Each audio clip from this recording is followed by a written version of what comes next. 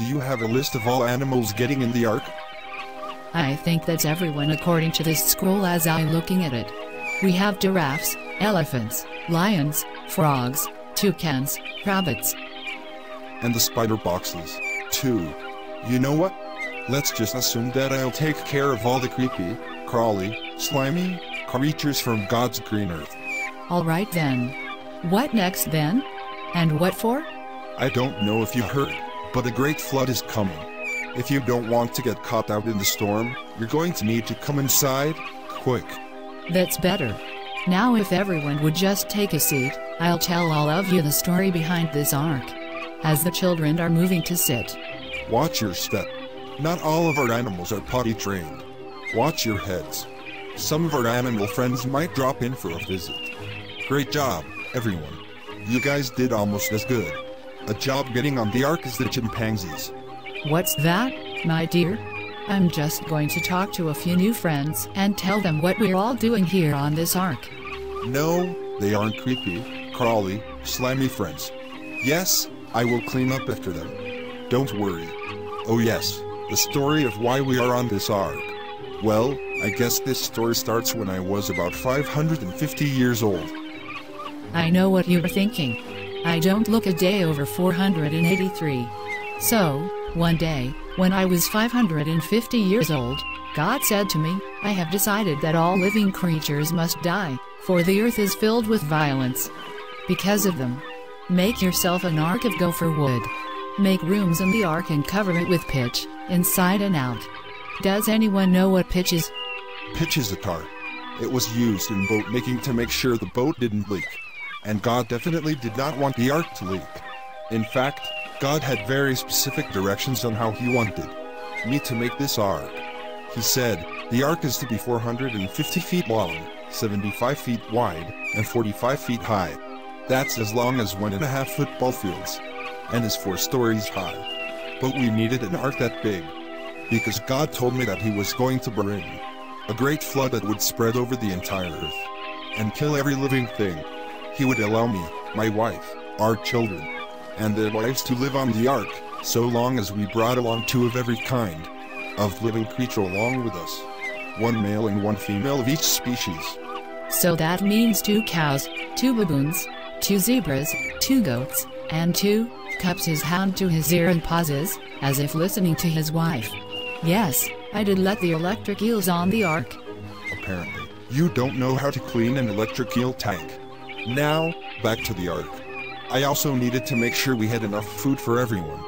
Do you know how much food that is? Let's just say, it was a lot. Needless to say, I didn't completely understand God's plan, but I did what He told me to. It took me 50 years to build this ark and get all the food we would need for our journey. 50 years. What's the longest it's taken you to work on a project or complete a chore? Calls on children as they raise their hands to give responses. wow, that is a long time. If it took me 50 years to build the ark, does anyone know how old I am now? Yes. 600 years. Yes, that's right. I'm 600 years old now. I know what you're thinking, I don't look a day over 500. And 26. And it may have taken me a long time to build the ark, but I finally got it done seven days ago.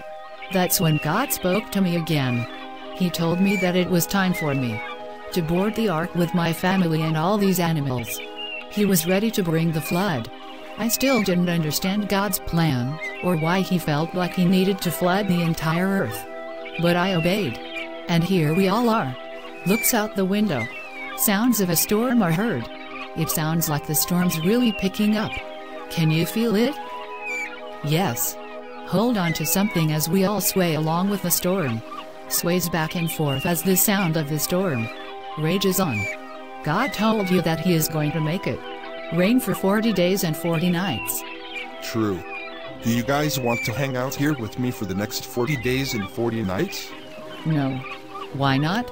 Is it because of the creepy, crawly, slimy animals? Or the fact that they aren't potty trained?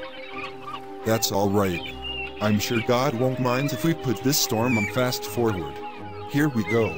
Starts to sway faster as the sound of the storm grows louder. Then the storm suddenly stops, and Noah stops swaying. We did it. 40 whole days and nights. I can't imagine when the storm was over. The storm is over. Look at the beautiful sun shining down on us. What is that? I think it's coming from over here. It's a dove. And it has an olive branch in its beak. Do you know what that means? Dry land is near. You know, I may not have understood God's plan, but I trusted in Him and God was there with me. Even if you don't always understand the plan God has for you, put your trust in Him and He will guide you through. Let's pray to God and thank Him for keeping us safe. Dear God, sometimes we find ourselves in situations where we don't know what to do, but we know you are always there, watching over us and helping to guide us to do the right thing. Thank you for always being there, even when we don't understand. We promise to do our best to open our hearts and our minds so that we might hear you better and to follow your plan to the best of our abilities. Amen. Amen. Thank you for joining us at Deliverance Church, Kira. God bless you.